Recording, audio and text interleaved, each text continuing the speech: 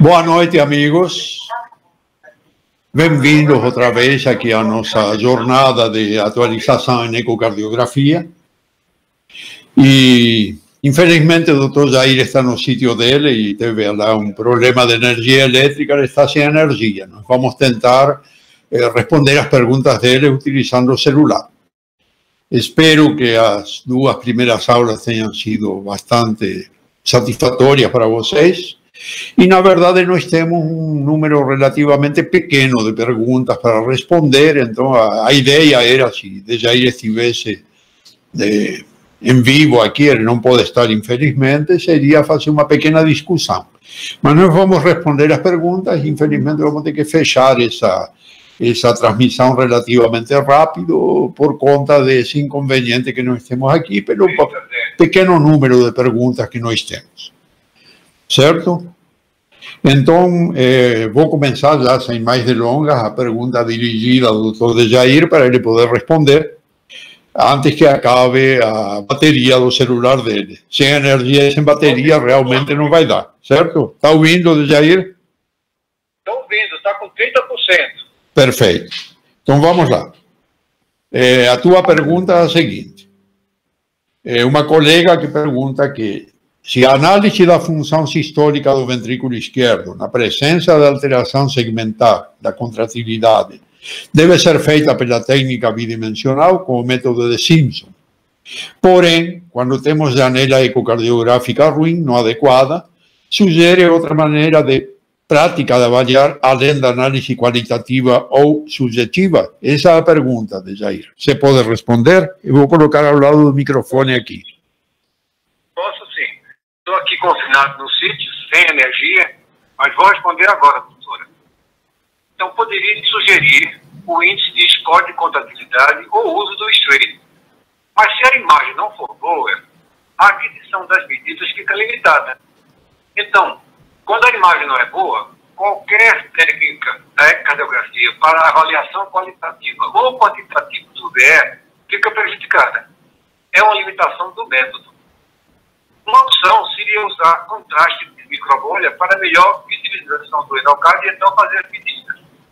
Mas se não há essa opção, se há necessidade de se definir a presença de isquemia miocárdica e de avaliar a função do VE para uma tomada de decisão clínica, melhor fazer outro método de imagem, como a medicina nuclear ou ressonância magnética. Uma observação.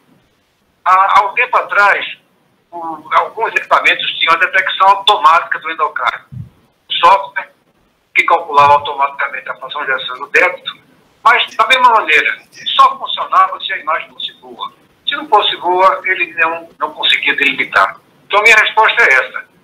Não, não podendo fazer, use outro método se é para tomar uma decisão do ponto de vista clínico. Uma boa noite.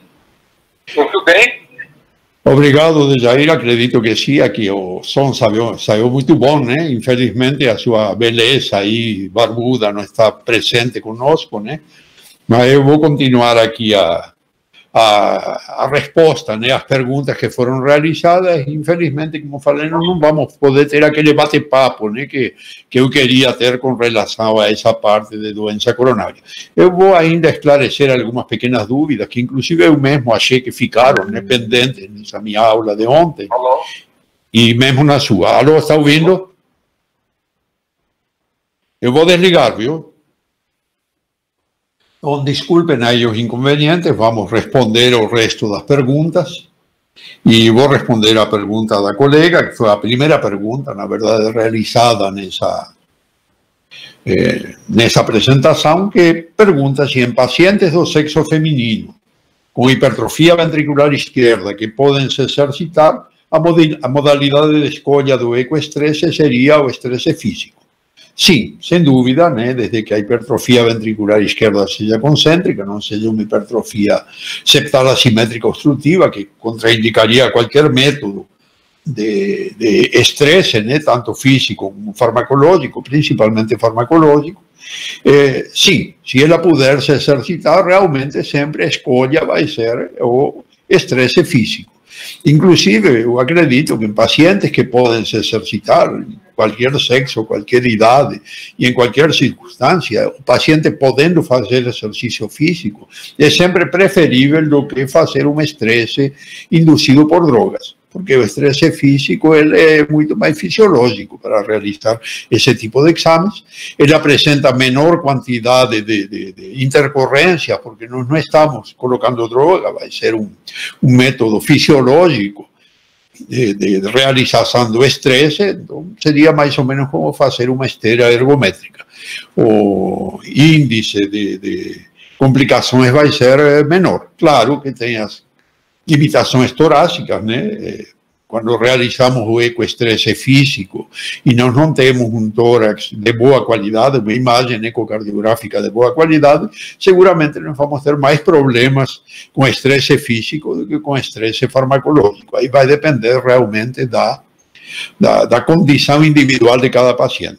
Mas, paciente podendo se exercitar, sempre é preferível realizar o teste de estresse físico, sem dúvida nenhuma. Espero ter respondido a pergunta, viu, doutor?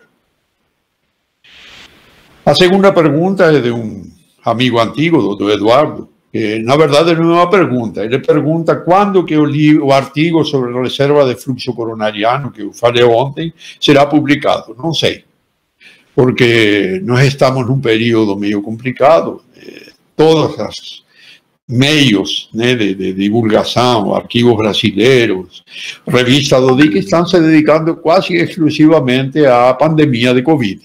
Então, não tem espaço para esse tipo de publicação.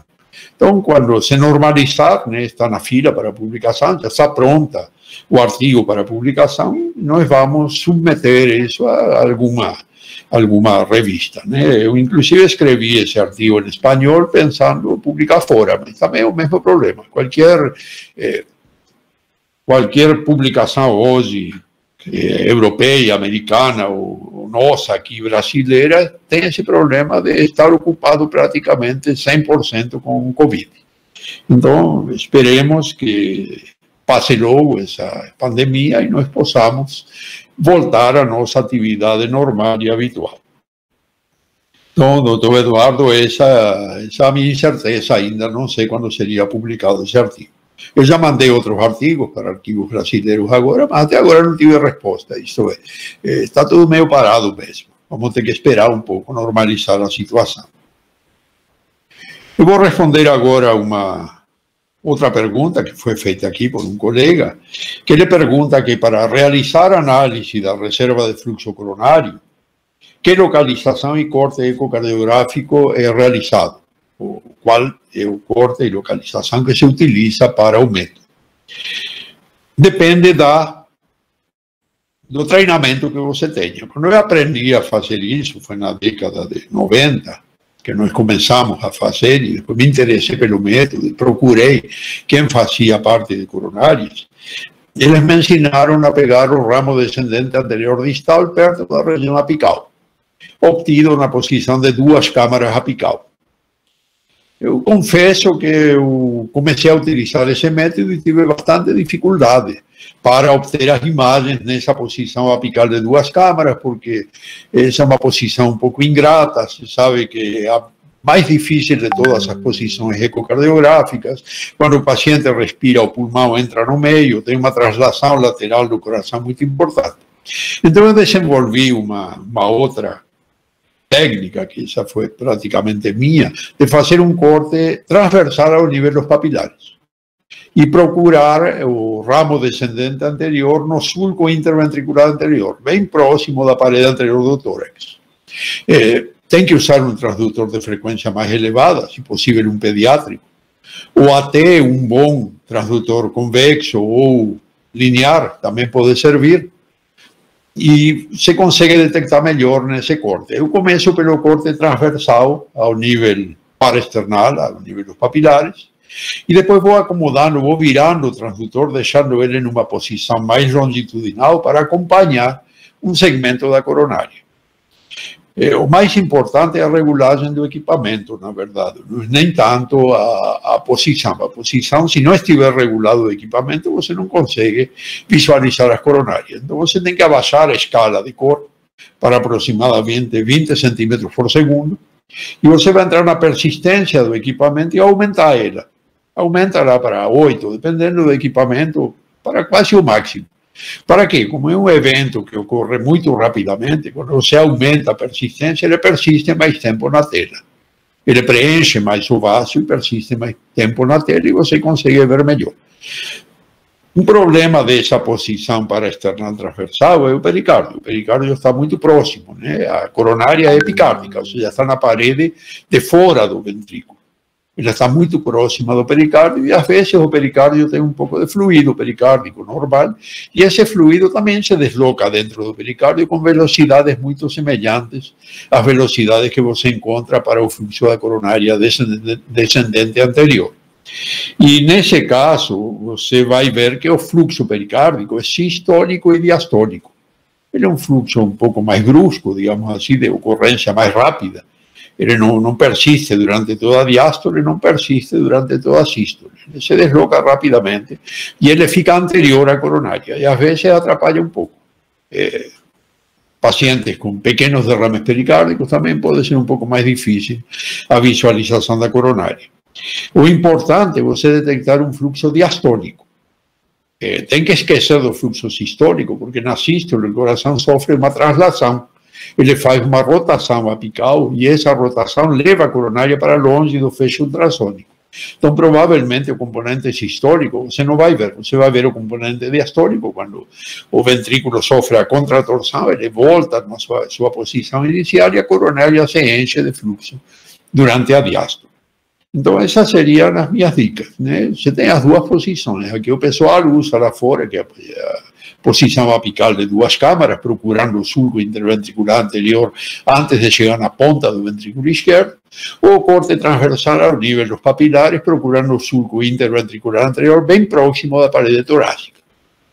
É, aí é treino. Aí vai ter que, vai pegar uma vez, vai pegar duas vezes, vai deixar de pegar algumas. É, tem que ter paciência para realizar esse tipo de exame. Essa seria a minha recomendação. Espero ter respondido sua pergunta, colega. Agora, deixa eu ver aqui, tem.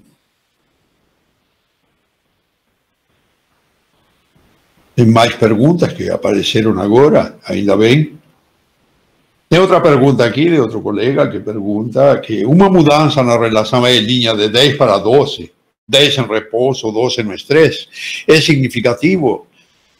Sim, não. Ele não cumpre os, os, os, os critérios né, de você dizer que ele faz uma disfunção diastólica. 10 para 12, não. Ele teria que ser mais do que 15. Isso que o guideline preconiza.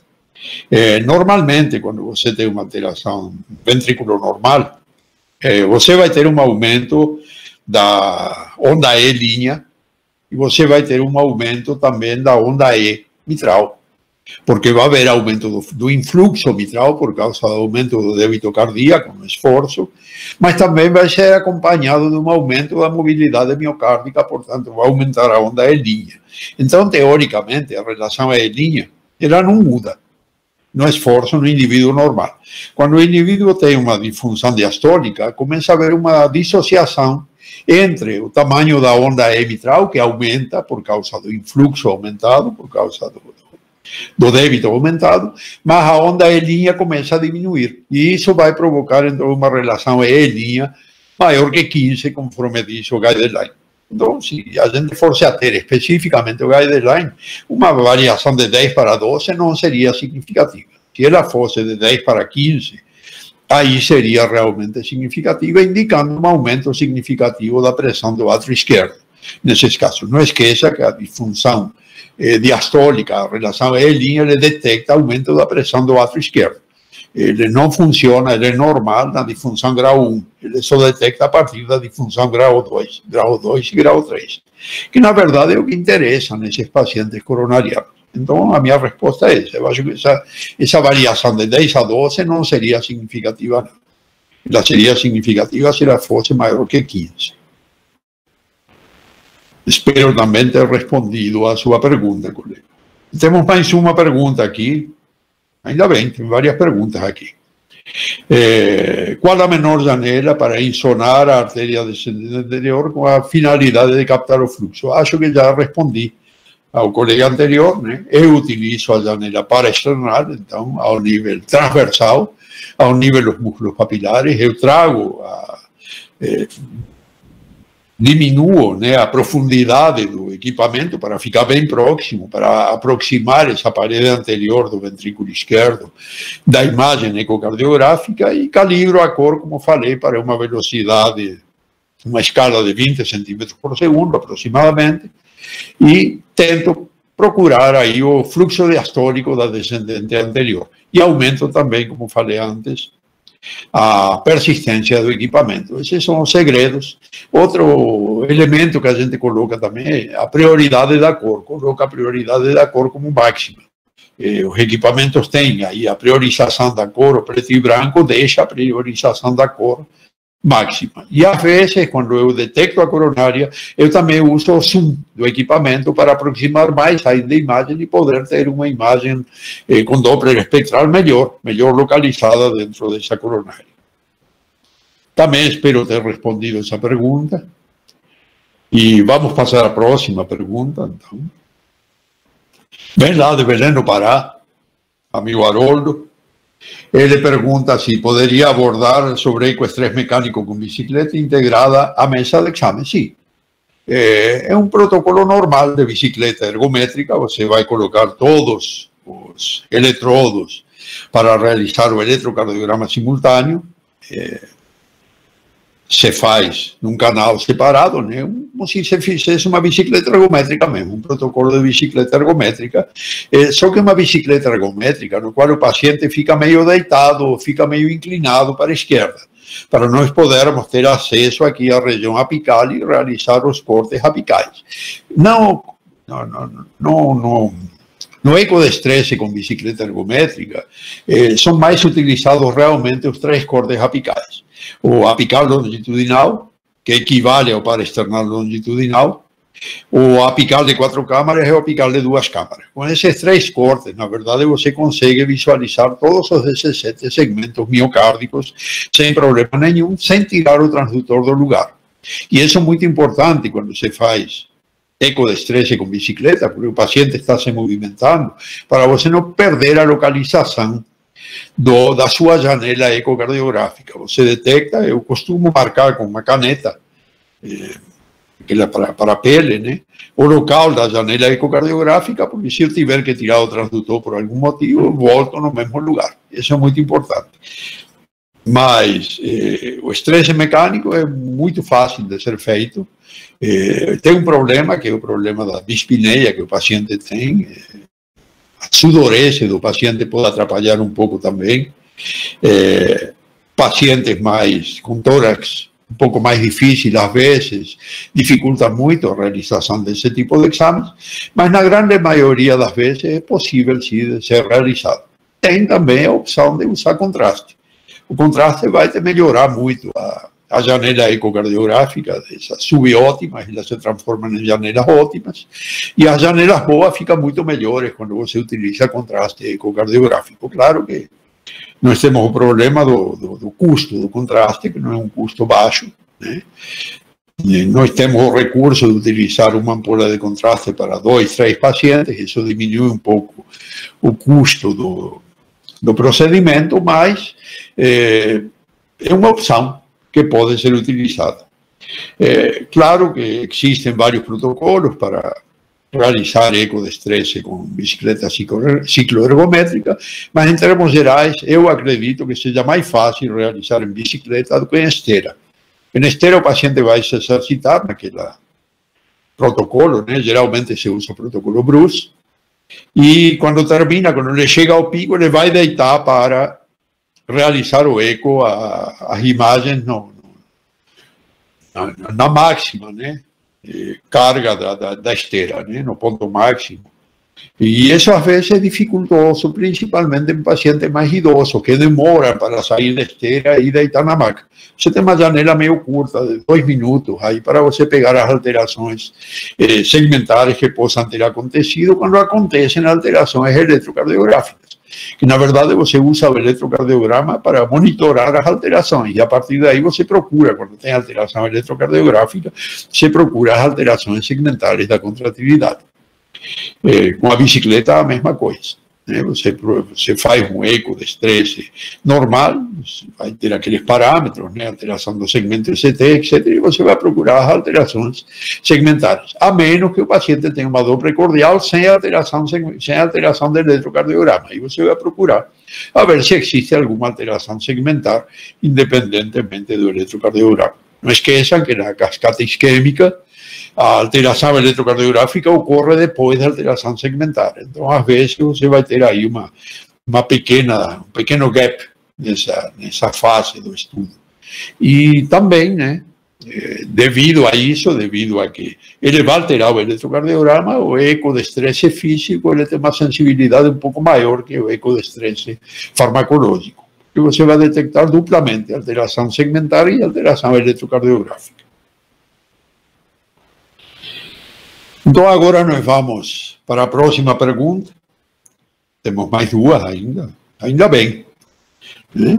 Aqui nós vimos eh, um colega que pergunta que viu muitos estranhos com alteração segmentar nos segmentos basais.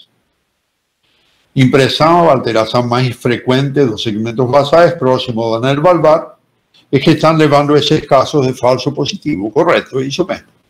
Se você invadir muito, porque os sistemas automáticos de captura de bordas endocárdicas, que são realizadas pela maioria dos equipamentos de ecocardiografia hoje, qualquer um deles, quando você vai fazer o strain, você vai marcar três pontos, né? ou às vezes ele faz isso automaticamente, sem necessidade de marcar ponto nenhum, ele vai detectar aquela parede. Você pode perceber e pode reparar que a grande maioria das vezes os pontos basais ele ficam abaixo da mitral, quase na parede atrial.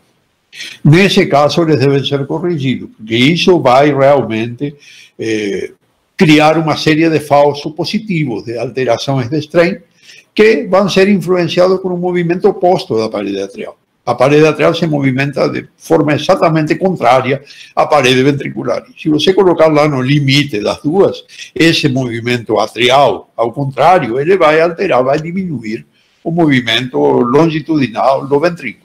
Então, eu sempre digo, quando você tem anel mitral calcificado, estenose mitral, valvopatia mitral, e mesmo nos casos normais, eu me afasto uns 2 milímetros do anel mitral na direção da ponta do ventrículo. Com isso, você vai diminuir muito o número de falsos negativos. Não esqueçam que as paredes basais, tanto para o ecoestresse como para o strain, elas são conhecidas como paredes malditas. São paredes de mais difícil análise, certo? Então, sempre tomar cuidado quando se faz o strain para afastar um pouquinho para dentro do ventrículo esses primeiros segmentos basais, eh, principalmente septal e principalmente no, na posição apical longitudinal, aquele que fica mais próximo da aorta, geralmente é o mais afetado, que seria o segmento eh, anteroseptal basal.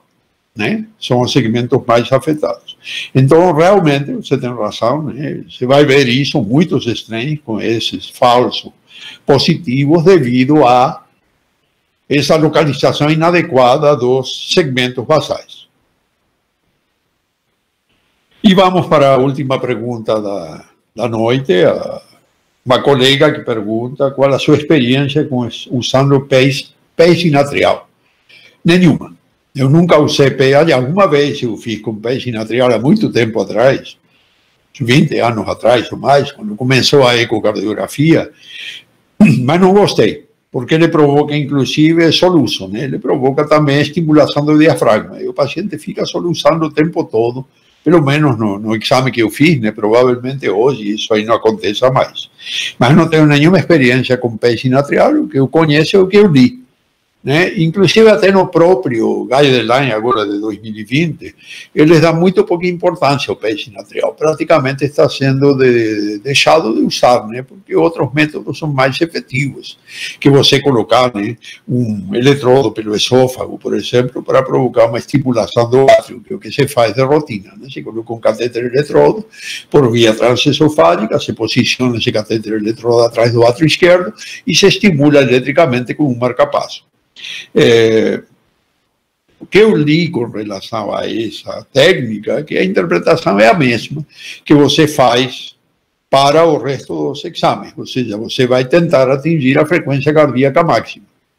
O que também eu li com relação a essa técnica, que é um inconveniente dela, é que muitas vezes a estimulação atrial ela provoca um bloqueio AV. Então ela vai dissociar o átrio do ventrículo na hora que você aumenta muito a frequência cardíaca, que pode provocar uma dissociação atrioventricular que vai também, não vai deixar esse exame satisfatório. Então, com relação ao peixe natrial, realmente eu não tenho nenhuma experiência própria. Sou, sou um caso muitos anos atrás. E pelo que eu li por aí, ele é muito pouco usado na atualidade. Certo, doutor? Então, eu acho que as perguntas foram respondidas, não me chegou mais nenhuma. Aqui eu estou olhando aqui o meu celular? A minha produção me passa as perguntas que vão chegando. Não chegou mais nenhuma. Eu queria só fazer uma pequena, eh, pequeno acréscimo que nós falamos ontem, que eu não falei, na verdade, quando falei de ecoestresse, que são os cuidados que nós devemos tomar com relação ao ecoestresse. Que além de nós fazermos as imagens, né, é, basais sempre com uma cuidadosa análise da contratividade segmentar, e para isso eu uso muito croma do equipamento, aquele, aquela corzinha que a parede fica, eh, aquela cor ouro que a parede fica, ela, ela dá uma acuidade visual melhor para analisar as paredes e cansa menos a vista, porque você vai fazer um exame que vai demorar 20, 22 minutos e vai ter que estar grudado na tela. Vai ter que estar aí eh, totalmente concentrado na tela e às vezes a imagem em preto e branco ela cansa um pouco a visão. Então eu recomendo, quando você faz ecoestresse, utilizar aquele croma, que os equipamentos têm. Aquela colorização das paredes, eu uso, particularmente gosto daquela parede, daquela, daquela cor ouro mais suave, que permite visualizar melhor e cansar menos a vista. Então, esse é um parâmetro muito importante, uma cuidadosa análise para ver se o paciente não tem alguma alteração segmentar basal. E aí nós vamos procurar né, se ela piora ou não. Segundo, monitorar todos os parâmetros do paciente. Eu já tive pacientes mais idosos que chegaram para fazer ecoestresse e o paciente já chegou com uma frequência máxima, submáxima praticamente, já para fazer o exame. Ou seja, um paciente idoso cuja frequência submáxima era aproximadamente 115 batimentos por minuto, calculado 220 menos a idade, 80% desse valor, ele praticamente já estava fazendo um eco de estresse sem necessidade de fazer droga nenhuma ou exercício nenhum.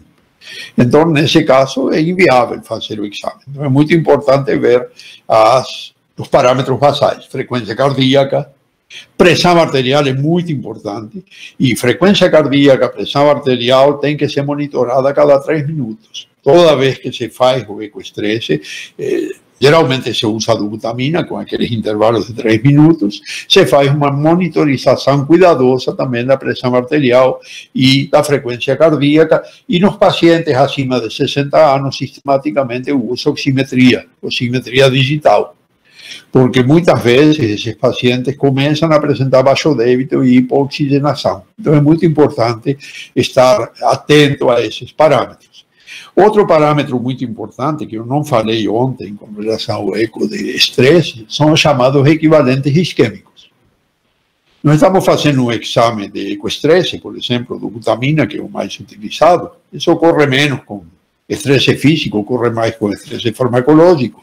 E do butamina, particularmente, e o paciente começa, né, na primeira fase do butamina, 5 microgramas, 10 microgramas, até 20, ele tem um efeito inotrópico. Ou seja, ele vai aumentar a contratividade miocárdica com pouco aumento da frequência cardíaca.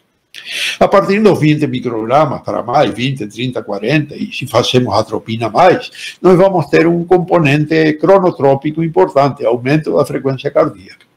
E às vezes, quando começa a aumentar a frequência cardíaca, ele aumenta rapidamente. De uma etapa para outra, da butamina, ele aumenta rapidamente a frequência cardíaca, e isso faz em ventrículos de pequeno tamanho que os papilares fiquem muito próximos um do outro. E essa batida dos papilares ela pode resultar num reflexo vagal. E esse reflexo vagal ele vai provocar hipotensão e bradicardia. Ou seja, o paciente está lá no seu exame, frequência 125, de repente cai para 80. Cuidado, isso pode ser um reflexo vagal, mas também pode ser um equivalente isquêmico. Então, toda vez que tiver uma diminuição de frequência cardíaca, diminuição de pressão arterial, nós vamos procurar alteração segmentada da contratividade. Ele pode ser um, ou um reflexo vagal ou um equivalente isquêmico. Outro equivalente isquêmico que eu considero de, da maior importância é o aparecimento de bijaminismo. O paciente está fazendo o eco de estresse e de repente ele bijamina. Ese prácticamente la gran mayoría de los pacientes que vitaminan durante el examen son positivos, o sea, ya les presentado alteración segmental. También tenemos otros equivalentes isquémicos, como dispinea súbita, por ejemplo, o tontura, que el paciente tiene, a veces va eh, a própria hipotensão, pode causar isso, né? Mas dispneia súbita também pode ser um equivalente isquêmico importante. Ou bloqueios, bloqueio AVN que aparece repentinamente, um bloqueio AV total, um bloqueio AV de primeiro grau já é um equivalente isquêmico ou um bloqueio AV total também. Quando nós realizamos o ecoestresse com dipridamol, que é o vasodilatador, que é o persantin, nós temos que ter muito cuidado com relação a bloqueios. Eu não faço exame com persantin em paciente que tenha arritmia, que tenha bloqueio AV, de qualquer grau que seja, porque ele pode ser aumentado durante a infusão de dipiridamol. Não esqueçam né, que se usa o dipiridamol, é um, um primo pobre, digamos assim, da adenosina, né? ele tem o mesmo efeito que a adenosina, tanto é que ele se metaboliza para adenosina exógena. Eu falei endógena ontem, falei errado, adenosina exógena, durante o seu, metabolismo, e ele pode provocar, ele tem a potencial eh, capacidade de provocar bloqueio AV a ver total. Então, se o paciente já vier com bloqueio, não faça eco com dipridamol, por favor. Prefira o exercício físico ou a dobutamina. A dobutamina também pode provocar arritmias, e muitas vezes arritmias importantes. Tem que tomar cuidado. E também um critério de interrupção do exame se o paciente começar a apresentar taquicardia supraventricular, arritmias muito frequentes, né? Enfim, elas podem também ser equivalentes isquêmicos, mas são fatores de interrupção do eco de estresse. Eu acho que mais ou menos isso. Deixa eu lembrar, ver se tem alguma outra coisa que não tinha falado. Eu acho que não. Eh, infelizmente no, no podemos contar con el doctor de Jair hoy por problemas técnicos. ¿eh? Y cosa y luz, ¿eh? danos sitio de él, está confinado la haciendo cuarentena. Y yo espero encontrarlos la próxima semana, nos vamos a hacer una última parte da nossa, da nossa jornada ecocardiográfica vai ser sobre tromboembolismo. Eu acho que vai ser um tema bastante interessante. Não? Tromboembolismo, na verdade, es um tema muito amplio.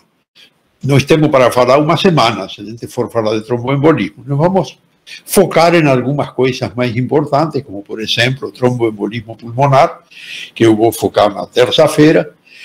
O doutor Carlos Antônio, ele vai falar, Carlos Antônio Silveira, ele vai falar na quarta-feira sobre AVC criptogênico e sua relação com foramen oval patente e aneurisma do septo atrial.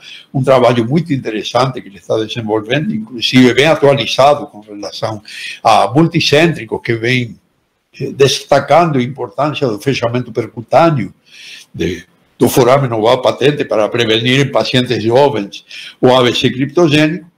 E na quinta-feira, o doutor Eugênio Albuquerque ele irá abordar exatamente os procedimentos que se usam para eh, quando nós detectamos fonte emboligênica. Então, o fechamento do foramen oval patente e a oclusão do apêndice atrial esquerdo por via percutânea, eh, fazendo referência, então importante, a essa parte terapêutica. Então, meus amigos, eu vou ter que encerrar por aqui Infelizmente, eu gostaria de ficar mais tempo com vocês e espero encontrá-los próxima semana. Se cuidem, por favor, cuidem das famílias e na próxima semana nos encontramos aqui no mesmo canal. Boa noite a todos.